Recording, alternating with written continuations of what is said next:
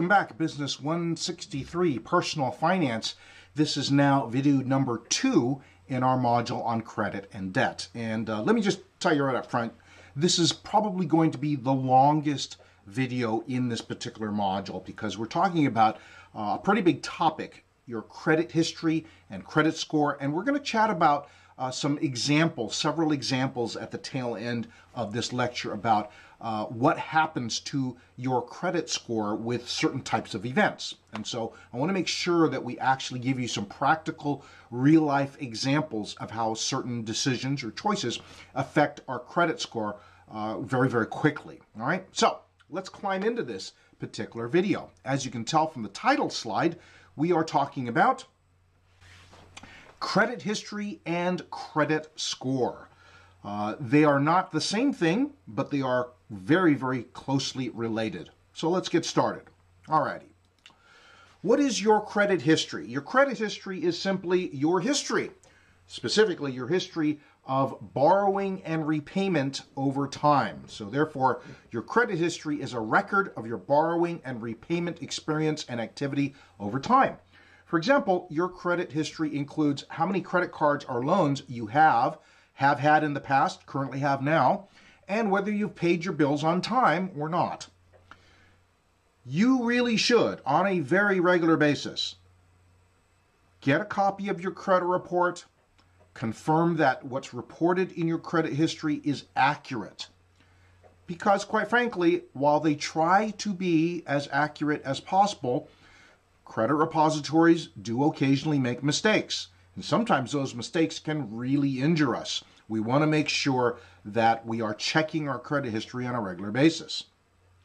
Credit history is important because of one big realization we've made about human behavior, and that is your demonstrated history repaying your debts is the most accurate predictor of how you will treat debt in the future. It really is. Credit history is the most highly correlated demonstration. Uh, it is the closest barometer or predictor of how a person will treat debt in the future. Now, that's not to say that once we get locked into a set of behaviors uh, that we are stuck there. People can change. But quite frankly, we've already talked about how difficult it is for us to change our financial habits, right? So, without an enormous amount of effort to change our habits, either good or bad, generally speaking, your past history about treating your finances and debt, it really is the best predictor of how you'll treat your finances and debt in the near future. Alrighty, returning to the slide here. How do I check my credit history? Well, your credit history is detailed in a standard credit report. Therefore, you need to get a standard credit report. You should know that in the United States, there are three large credit bureau companies, also referred to sometimes as credit repositories, where all the information rests in a repository, right? Those three companies are Experian, TransUnion, and Equifax, respectively. And what happens here in the United States is that lenders can choose to report information to any or all of these three companies. And typically, most large lenders report to all three of these companies. Um, each of these companies has a credit report, and you can get a copy of your credit report from each of these three companies for free once a year. All you have to do is go to uh, on, the, on the web, www.annualcreditreport.com. You see it listed there. I'll also provide a link to, for you in the module. And uh, once every 12 months, you can get a copy of your credit report, one copy from each of the three repositories. Uh, and you should get that once a year and review it. Now, notice that the last bullet point, the credit report that you get from annualcreditreport.com will not include a credit score. It'll be just your report. And that will give you plenty of uh, information to go over carefully and confirm that it's accurate. But we'll talk about credit cards in a later video. Many credit card companies these days want you to be monitoring your credit, your credit history, and your credit score So many credit card companies will now give you your credit, your latest uh, current credit score for free over the internet. So we'll talk about that a little bit more when we hit that video specifically on credit cards. Now, when you get your credit report, what should you look for? You should be aware that every credit report has two main sections. The top section is basically all of your personal information. You should make sure it's accurate. The second part is the very long record of your past credit and debt history. All the companies that you've had a loan or a credit card or a car loan or any kind of transaction with, as well as uh, a month by month uh, record of your payments, whether those payments were made on time or whether they weren't. What you should you do? You should carefully check every page to make sure it's accurate. Make sure each of the loans and accounts listed is really yours and that the repayment record is accurate. If you find errors, take steps to have them corrected. We don't take a great deal of time in the module uh, to talk specifically how to appeal to the credit repositories to have errors uh, corrected, but plenty of information on that resides uh, on the internet. Uh, you can just go to the websites for Experian, TransUnion, and Equifax, and they have uh, very, very specific and accurate information how to appeal to them to um, correct errors in your credit history. All right? Now, related to your credit history, your credit report, is the credit score. What is a credit score? Well, as you might guess, it's a numeric distillation of your entire credit history. It looks at your entire credit history and assigns a numeric score. What sometimes people don't realize, though, is that we don't have just one score floating around. We have many scores because each of the three bureaus prepares industry specific scores for different types of lenders. So, for instance, um, Equifax prepares a auto lender score that's specifically designed for automobile lenders. There are uh, mortgage scores specifically for mortgage lenders. So we all have a whole bunch of actually, you know, several different scores floating around out there. And each of the three bureaus has several different algorithms to develop a score, and they continue to adjust and modify their algorithms and models over time. But for the sake of ease of this class in this module, let's put it this way. The major score that we should all pay attention to is known as the FICO score, also known as FICO score 8. Why are we looking primarily at FICO score 8? It is right now the most uh, popular score that lenders use. Um, and it becomes easier for us to focus on that because it is the one that generally is most popular with lenders. Now, how should we understand this score? Well, as we said, most lenders use FICO score 8, and the score that you have from any point in time can range from the lowest score of 300 to the highest score of 850. And generally speaking, you can sort of see how these categories work themselves out. Right now, the average U.S. average credit score in uh, the United States is 710. That's a little bit higher than it was last year, and you can you know, track that over the time if you're interested. But more importantly, what you need to know is wherever your score is, generally speaking, a score of 800 to 850 is known as exceptional. Um, you can see the ratings there from 740 to 799 is known as very good. Your score between 670 and 739 is known as a good credit score. And then you can see the ratings for fair and poor.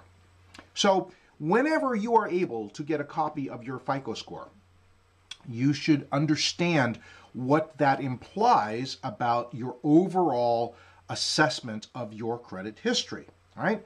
And if you don't fall into one of the higher ranges, if perhaps your credit score is a little lower than the very good or good range, do not be discouraged. Just realize there are things that you can start doing immediately to improve your credit score. And quite frankly, it's probably pretty important that you get to work on that.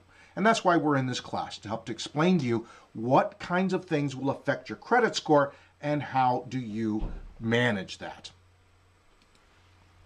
So let's first talk about what doesn't affect your credit score ever. By law, these things can never affect your credit score.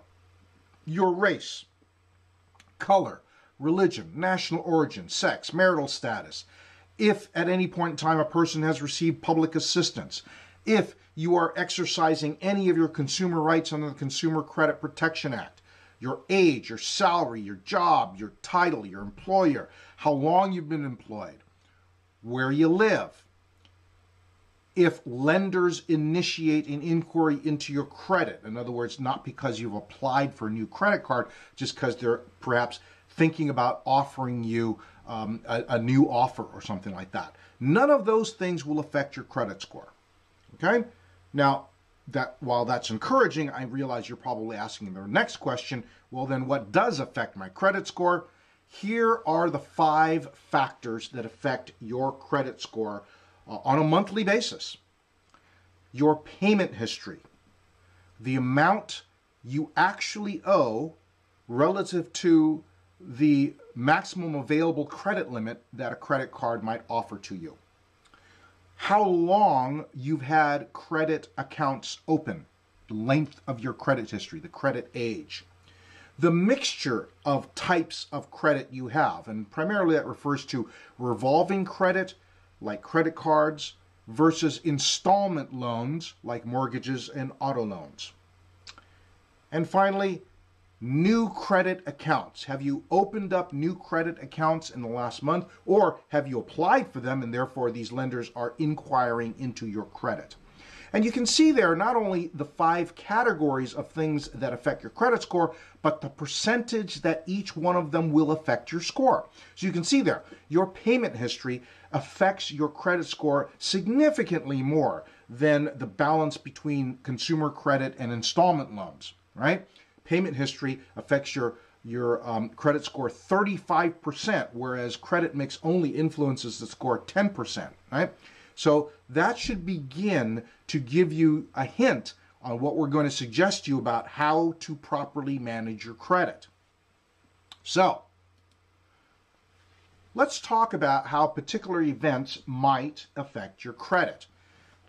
Let's say that you're brand new to credit and you start with a score of 599. You know that 599 is not a great score, but you're just starting out. But in just starting out, you miss one credit card payment. How much will that hurt your score? Well, quite frankly, if you have a score of 599 and you're new to credit, missing one credit card payment will drop your credit score 131 points all the way down to 468. The combination of you being new to credit and missing a payment makes you lose over 130 points to your credit score. That is a significant uh, detriment. All right, let's give you another example. Let's say you have had a long credit history. After years of using your available credit very sparingly, you now have a credit score of 826. That's one of the highest credit scores in all these examples. How many points will you lose if all of a sudden you decide, I'm just going to max out all my credit cards? You can see there, your score drops a whopping 165 points, drops you all the way out of the exemplary range down to 661. Even if you continue to pay all your payments on time, high utilization is a very quick way to a lower score. Because, of course, credit utilization affects your credit score had 30% of the influence, right? All right, let's keep going. Another example. Let's say you start with a credit score of 599 and you have the opportunity to pay down your credit card to just 10% of your credit limit. Okay? So maybe you had a larger balance, but all of a sudden maybe someone has uh, give, gifted you some money or you got a big bonus at work or something, but you're going to pay down your credit card balance to just 10% of the available credit limit. How much will that improve your score? You see there, your score gains 96 points, improving all the way from 599 to 695. This is a very large gain, pushing you to a brand new credit tier. This is a great thing, right? Now, let's take a very similar scenario. Let's say you start with the same credit score, 599, but instead of paying it off entirely, you pay it off entirely and close the account. You call up the lender and say, I don't want this credit card anymore, I'm closing it. How much will that improve your score? Well, your score only increases 10 points to 609. Now look at this, look carefully at that last bullet point. If you had paid it off and kept the card open, your score would have increased 103 points. But by closing it, and that, if that was your only credit card, it hurts you both in terms of your mix of credit, because now you've dropped off all your consumer credit, right? You've closed it, and you have lowered the amount of available credit to you. That's why you only gain 10 points. Immediately here, you sort of can probably guess what the correct answer is. Rather than paying it off entirely and closing it, what if you paid the card off entirely, all the way to a zero balance, but kept the account open and just took that card and maybe put it in your sock drawer? Okay? So you don't use it anymore, but you keep the account open you would have your credit score would have gained over a 100 points rather than just 10. All right, let's keep going. Here's another example. Let's say again, you start with a credit score of 826, uh-oh, but you let one of your credit cards go off to collections. How much will that hurt your score? Your score drops a whopping 257 points all the way down to 569. Yeah, well, that's really hurts when a company takes uh, a debt to collections. Uh, and finally, let's say you have a good score, you have a 732, 732 credit score, but you declare bankruptcy. Well, a bankruptcy really hurts. It'll drop your score 363 points. I think that's the largest drop in any of these examples, all the way down to 369. And of course, depending on the type of bankruptcy you declare, that will, that may stay on your record for 10 years. All right. Now, that doesn't mean your credit score will stay at 369 for 10 years, but the record of your bankruptcy will stay on your credit report for up to 10 years, depending on what chapter you file of the bankruptcy code. All righty. So, these are just some quick examples to tell you what. Well, your credit history and credit score are incredibly important to your financial life. And different events will affect your credit score differently depending what score you started with, how long you've been using credit, and the type of account that we're talking about. The bottom line is, one of the most important things you can manage in your financial life is your credit history and your credit score. We highly recommend you regularly check your credit report and you find a way to actively manage your credit score on a monthly basis. Keep track of it on a monthly basis, track the changes so that you know when your credit score goes up or if something affects it and it goes down. That's the best way to know how to take the next appropriate steps to keep your credit score increasing. I hope that's helpful. You have some supplementary videos and articles to also um, um, amend and add to this knowledge. I hope this is really helpful. Again, one of the most important parts of this module, your credit history and your credit score. Thanks so much. We'll see you in the next video.